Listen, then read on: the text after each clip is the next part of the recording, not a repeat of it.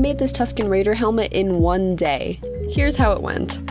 After assembling the pieces with my 3D printing pen, I gave the whole base helmet a coat of black.